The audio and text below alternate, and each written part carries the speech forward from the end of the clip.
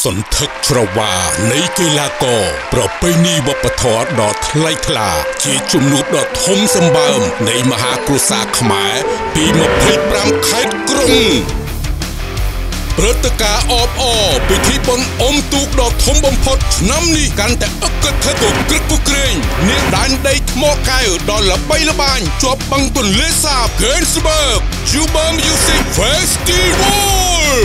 ប្រមូលផ្ដុំ ដោយទស្សនីយភាពកំសាន្តផ្លេចផ្លេការប្រណាំងគោនិងម៉ូតូហោះពិធីលោតឆាត់យងកម្មវិធីបង្ហោះគោមការដាល់អំបុកពិធីបណ្ដែតប្រទីតខ្នាតធំជួបជាមួយតារាចម្រៀងលំដាប់ជួរមុខខ្ញុំឆាយវិរៈយុទ្ធ